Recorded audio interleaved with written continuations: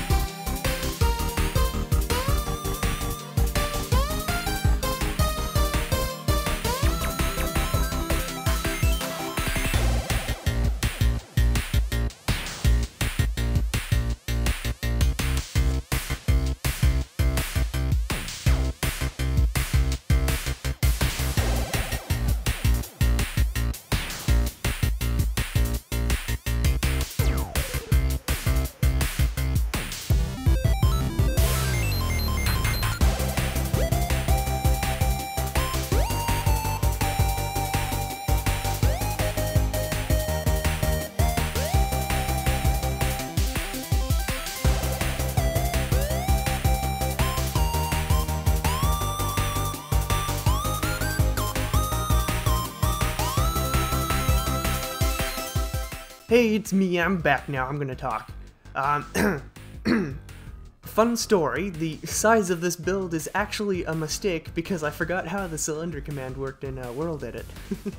uh, smooth brain moment from Kian there. Uh, for some reason I thought the number you put in was the diameter instead of the radius, so it ended up about twice the size of what it was going to be, and as a result, I have next to no vertical space left to play with, which is why the engine fire is so stubby. Uh, I would have really liked to make that longer, but I literally have no space. but if uh, what Bob Ross says is true, then of course this isn't a mistake, but a happy accident. So, in the spirit of this happy accident, I wanted to share with you some stuff about the people who built these Moai in real life. For example, did you know that they were never wiped out? I, I know that sounds kind of weird, um, but as a kid, I was always told deforestation on their island was their downfall and that there were no Rapa Nui people left in the world. But according to Wikipedia, they're still here. Um, they did come close at points, with a lowest recorded population, according to Wikipedia again, of 111 native inhabitants in um, 1877.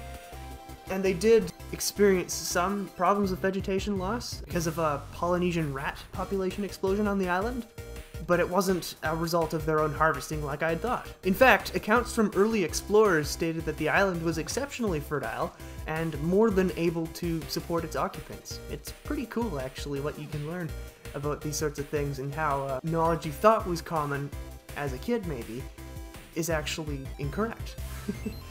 Another thing I found cool was that the Moai themselves, for the most part, are complete figures, not just heads. I think a reason this is kind of perpetuated is because a lot of them are buried, and excavation efforts have uncovered the fact that many of them are full figures. Um, and of course, there are other ones displayed that are completely above ground already. And the way they arrived at the locations around the island is cool too.